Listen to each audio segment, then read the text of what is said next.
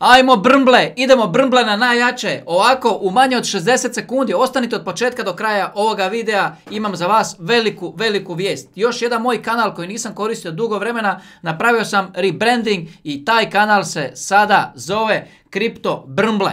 Ljudi moji, Kripto Brmble službeno prije pola sata krenuo sa radom. Imate ovdje prvi video, zove se Kripto Brmble Pepe to the Moon. Jako zanimljiv video, bit će jako zanimljiv sadržaj i na tom kanalu ćemo se baviti samo šitarama, samo brmblama, samo mimovima i samo sa lošim i nikakvim projektima. Vjerujem da će vas i takvi zanimati i zato zapratite Kripto Brmble, pogledajte sada tamo video koji sam danas objavio i svakako vas pozivam ispod tog videa stavite neki komentar, dajte neki like, napravit ćemo neko izvlačenje i tamo ćemo isto nagrađivati gledatelje. A sad svi na Kripto Brmble.